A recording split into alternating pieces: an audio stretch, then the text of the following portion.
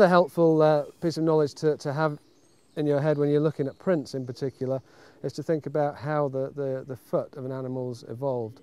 So the theory being um, that we've all, or all mammals have descended from a, a shrew-like animal that had five toes. So if we look at our, our own hand, we still number um, animal toes in exactly the same way. So starting from the inside, the thumb, or the equivalent of the thumb, is number one, and then we go two, three, four, five. Now with some animals, um, if you think about your cat and dog, this, this doesn't show in the track anymore. So what's happened is number one has gone, or in the case of a dog, it's actually gone up further on the front leg and becomes the dew claw. It's disappeared on the hind leg, so they have essentially five toes on the front feet and four on the back. Uh, this toe and this toe have come back down and they form the pads that are behind, and then these guys are the ones in the front. So we've got that kind of evolution of, of, of the foot going on. The ungulates, and I could probably show you this better with this deer foot, this is a, um, a roe deer foot. Essentially what's happened is that the, the toe, which is the equivalent of our, the ball of our finger, and we, has modified to the point that what is essentially our nail has grown out into this huge sort of hoof or claw if you like. I mean other animals have claws in, in the place of their fingernails and it's now effectively walking on the edge of this this modified nail, which is why we call them nail walkers. So we've got toes um, three and four here, and then these other two become dew claws and they've gone way up the track. And they don't really show unless the animal's really moving fast or there's very deep mud and they can dig down and make an impression. Many animals are like us, in fact, if, if, you think about the way that you walk, we walk in a very plantigrade way in that we, the whole of our sole will, will make contact with the ground. And so will badgers, and so will lots of the other mustelids, the weasels, and, uh, and lots of rodents, and what are called lagomorphs, which are rabbits and hares. So you can see with this guy, this is a, a mountain hare foot, that the whole of that surface will make contact with the ground, and so will this.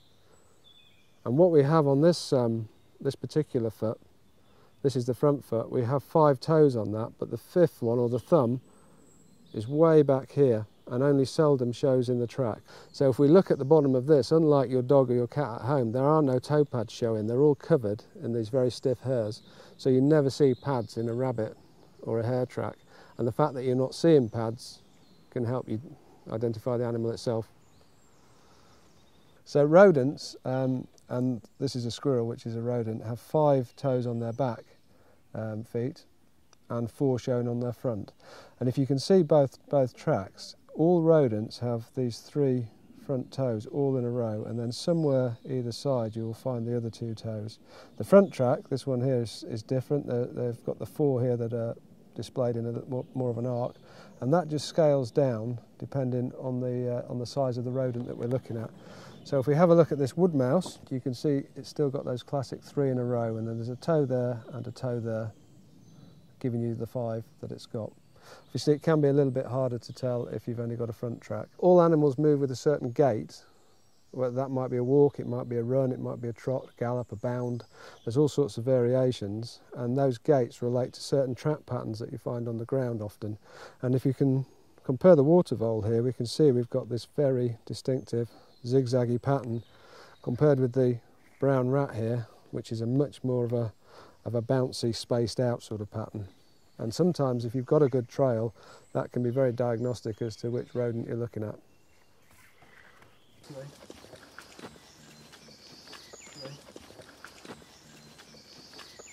So what we've got here is a, uh, a deer trail, roe deer trail, and if we come down and have a closer look, it looks uh, a little bit confusing at first. We seem to have a, a cleat here this is one of these extended toes we talked about, and then you see the same thing happening again.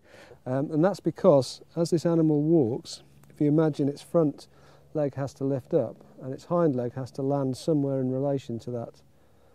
So what we can see here is we can see this line here, which is one of the toes, this is the other toe, this is the hind track that's partially obliterated the front track. What we can also see while we're looking at this, um, and one of the classic things that make it a roe track, is this very heart-shaped profile. The other deer that we find here, muntjac, although being much smaller, at this time of year there's a huge crossover. We've got baby roe. They're much, much more parallel than this. And even the baby roe have this distinct heart shape to, the, to their feet. If you imagine as the deer's rear right leg lifts off from the ground, just before it touches down, the right front goes forward, and so this hind leg will land somewhere in relation to the front track. And it could be slightly outside, could be slightly inside, could be directly on top. If it's behind, it's quite likely to be a slower walk.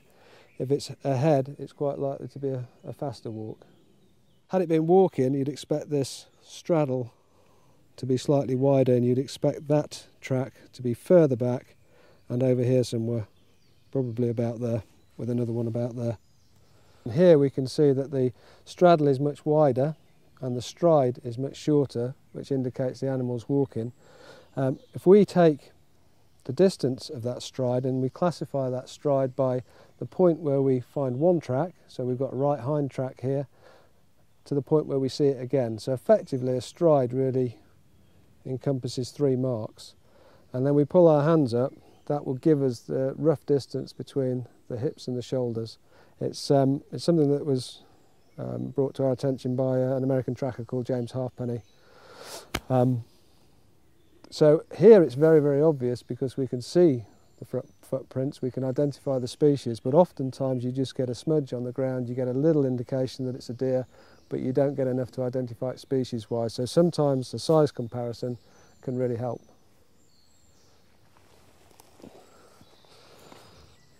So uh, sometimes the way the animal is moving can really confuse you. Um, this track here has got loads, loads more energy in than the ones we've seen before because the, the animal is clearly moving fast. And what happens, particularly with the front feet uh, on deer, is they splay quite a lot and they can look hugely different um, to what you'd expect. And if you, if you see the size of this track, or what you think initially is the size of this track, it looks like a much, much bigger animal because of the energy involved in going in and effectively bounding off through the woods. Um, the important thing when you're looking at big tracks like this, and this is true if it's in soft substrate as well, like mud and snow, is to look right into the base of the track to get a, a, a true indication of the size of it. So in the same um, area, we've got a different type of, of, of, foot here. We've got a plantigrade foot. So if we come in closer, you can see the uh, individual toes. This is quite an old track. Oftentimes you will see claws as well shown with a badger, but I'm not seeing any on this one. Um, often again, what we don't see in the track, what we call the negative space, which is this ridge here where there are no toes, and it's a gentle curve suggesting all the toes are ahead of the palm pad again, you know, can't really be a dog track or a fox track. So what we've got here is a fairly, fairly classic um, dog track. And again, if we do this comparison with our own hand, what we can see has happened is that the inside toe, or the equivalent of our thumb, number one, has gone. It's up the leg, or if it's a hind track, it's disappeared altogether. Toe number two becomes this toe. Toe number three becomes this toe toe number four becomes this toe, toe number five becomes this one. So effectively those two have gone back and those two are forward. And then we have this big pad at the back, which again is our uh, interdigital pad. So looking at the negative space on a dog track, it's very much this sort of pattern, which you can see pushed up in the mud here. And we have got the imprint of some claws here as well.